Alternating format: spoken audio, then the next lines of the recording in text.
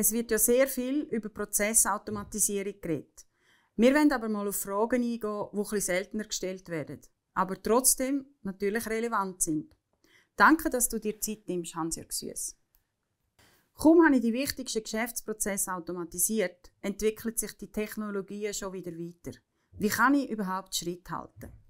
Selbstverständlich entwickeln sich Technologien wie auch Geschäftsprozesse laufend weiter und das ist auch richtig so. Jetzt bei der Auswahl der Automatisierungsplattform sind zwei Aspekte ganz wichtig. Der erste Aspekt ist, das muss eine Plattform sein, die auch erweiterbar ist, die skalierbar ist. Der zweite Aspekt ist, in einem Fall von einem Plattformwechsel muss sie auch migrierbar sein. Das sind die technologischen Aspekte. Denn wenn man einen neuen Geschäftsprozess will automatisieren will, muss die Plattform die Möglichkeit bieten, eben auch neue Geschäftsprozesse können abbilden und allenfalls bestehende Geschäftsprozesse natürlich auch können anzupassen. Und das muss möglichst flexibel und in der heutigen Welt natürlich agil funktionieren.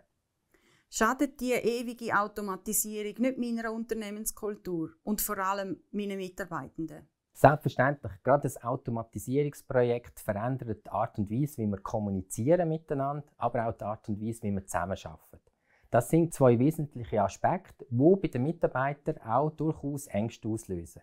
Jetzt, was ganz wichtig ist bei einem Automatisierungsprojekt, dass das eben begleitet wird. Das ist ein Change, wo durch sogenannte Organizational Change Management muss begleitet werden.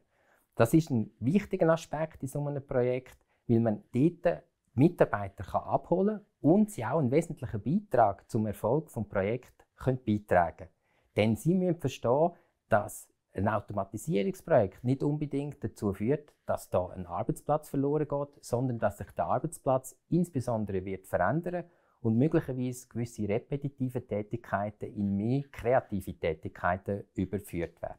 Interessant. Du hast doch Erfahrung. Gibt es eigentlich Prozesse, wo man nicht automatisieren sollte? Und falls ja, welche wären das?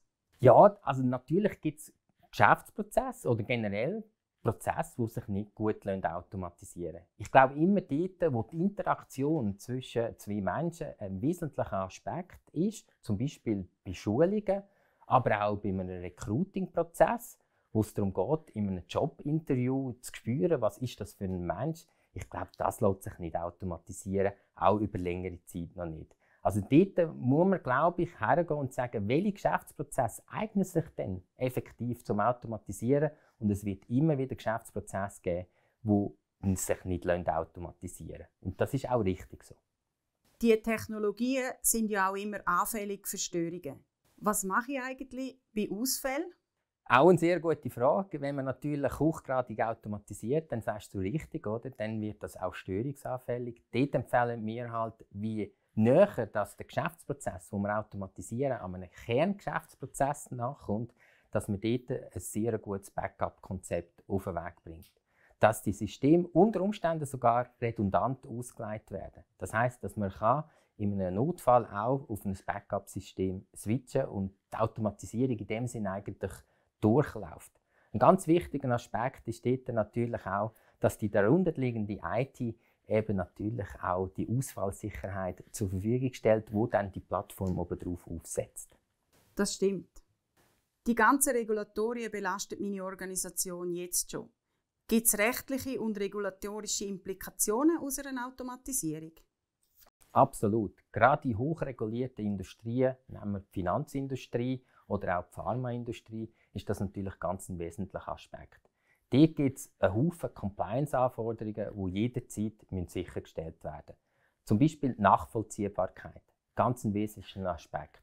Da gibt es natürlich im Rahmen von Automatisierungsprojekten Möglichkeiten wie Audit Trail, wo man eigentlich die Source, also die Basis, möglicherweise Daten kann rückverfolgen kann, woher kommen denn die, die in so ein Automatisierungsprojekt hineinfließen. Unsere Spezialisten sind geschult darauf, gerade im äh, Life Science, also im Pharmaumfeld, um eben jederzeit können sicherstellen, dass die Compliance-Anforderungen auch im Rahmen von einer Automatisierung sichergestellt werden können.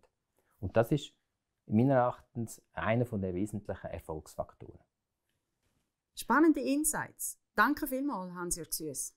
Sehr gerne. Danke vielmals.